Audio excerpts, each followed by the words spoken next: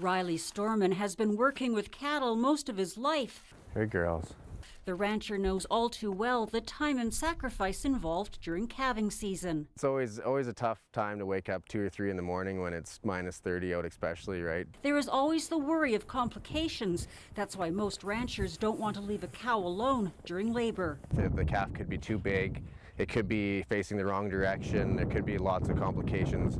So this device, a calving sensor equipped with GPS and attached to a cow's tail, is meant to make birthing season a little easier. It's called Moocall, and it will let a producer know when a cow is getting ready to deliver its calf. It's a uh, connected to cellular data and it will notify me with a text message. There's a reason the device is attached to the tail. As she's getting closer to labor, um, she'll have contractions, she'll swish her tail, uh, the tail will lift, and uh, the device just monitors those contractions. The Moocall was developed in Ireland and is now in 30 countries, including Canada, although each device costs more than $400. If we can get these devices into the hands of farmers and even if it saves one calf, the device has already paid for itself.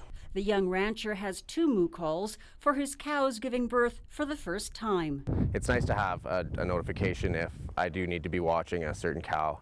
And maybe the device is making this calving season a little easier for Riley Storman and his fellow ranchers. Janet Dirks, CTV News, Calgary.